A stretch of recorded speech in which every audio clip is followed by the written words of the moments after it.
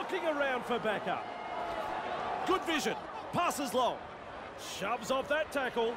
He runs straight past another. There's the half-time hooter. Big meters, mate. Three letters, four points,